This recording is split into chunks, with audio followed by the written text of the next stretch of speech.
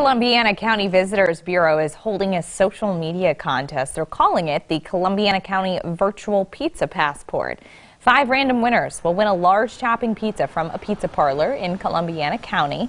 To enter, visit three participating pizza shops in the county. Follow the Visitors Bureau on their social media accounts and then post a picture of your dated receipt and your pizza.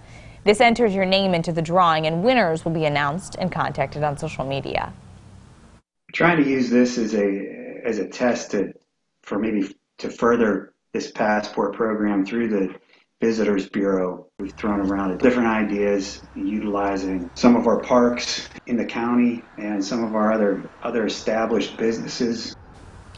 The winners will be announced on social media the first week of April.